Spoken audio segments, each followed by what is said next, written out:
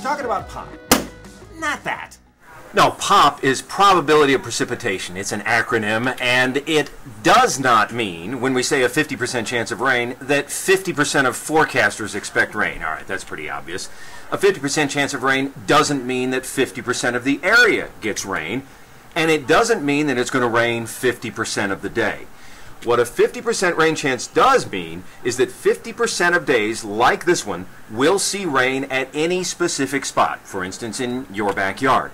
All right, here's a sample of what we show on 7 First Alert Weather. That 50% chance on a Tuesday is for the daylight hours. That's what we're expressing here. And remember, the daylight hours are much longer in the summer than they are during the winter.